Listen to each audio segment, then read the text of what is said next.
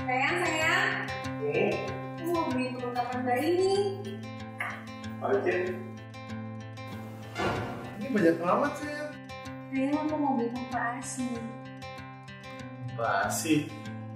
Apaan tuh?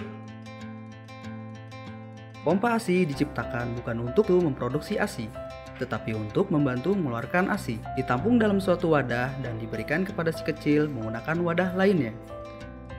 Ada dua jenis pompa ASI, manual dan elektrik. Pompa ASI manual memiliki corong dan tuas untuk memompa, dilengkapi wadah penampung.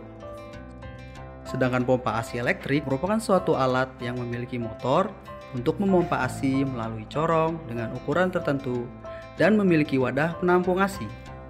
Lalu, siapa saja yang membutuhkan pompa ASI?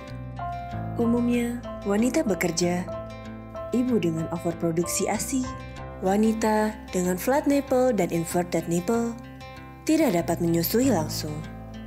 Lalu, lebih baik menyusui langsung atau menggunakan pompa ASI? Tentu akan lebih baik dengan menyusui langsung. Karena setiap kondisi dan keadaan ibu tidaklah sama.